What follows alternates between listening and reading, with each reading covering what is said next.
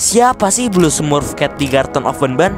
Blue Smurf Cat adalah monster yang berwarna biru, menggunakan caping putih, dan berwajah seperti kucing guys. Tidak banyak yang spesial dari monster ini, soalnya Blue Smurf Cat cuma muncul beberapa detik saja dalam video edit playtime. Walau begitu, ternyata monster ini terinspirasi dari meme yang akhir-akhir ini lagi viral, yaitu meme We Live, We Love, We Live dengan lagu khasnya Alan Walker The Spectre. Gimana menurut kalian? Coba komen di bawah dan subscribe.